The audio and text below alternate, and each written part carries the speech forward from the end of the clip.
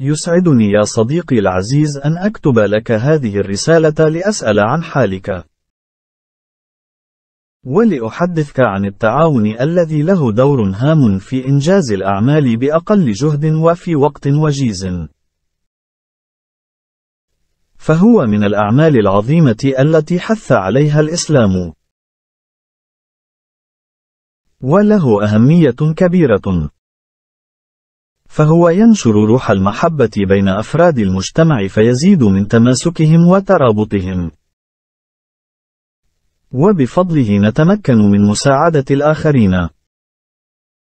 قال رسول الله صلى الله عليه وسلم: يد الله مع الجماعة.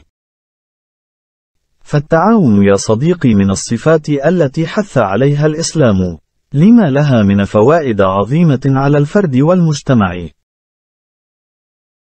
أتمنى أن تلقاك رسالتي وأنت في أحسن أحوالك.